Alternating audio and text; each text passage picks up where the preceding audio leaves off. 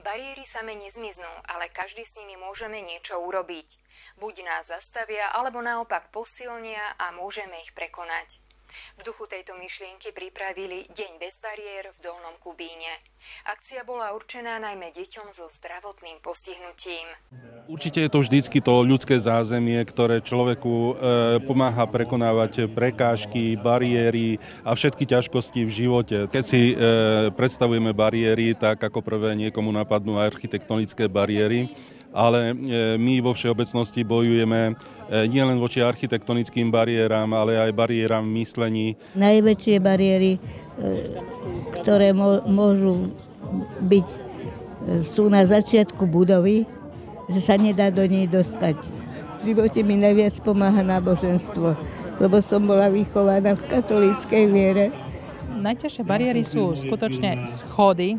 Môžem povedať, že už si ľudia zvykajú, aj na to, že či treba pomôcť, pýtajú sa. A niekedy akože je aj ľúto človeku, že osloví o pomoc, poprosí a jednoducho človek nemá záujem. Skôr by som povedala, že tie bariéry väčšie sú medzi ľuďmi.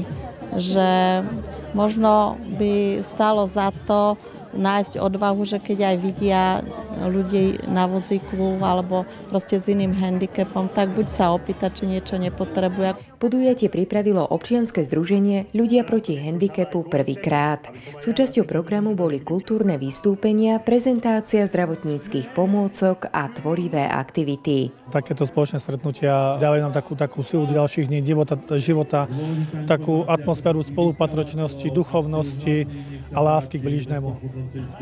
Na stretnutie prišlo niekoľko desiatok účastníkov z celého Slovenska. Pozvanie prijala aj úspešná paraolimpionička Veronika Vadovičová.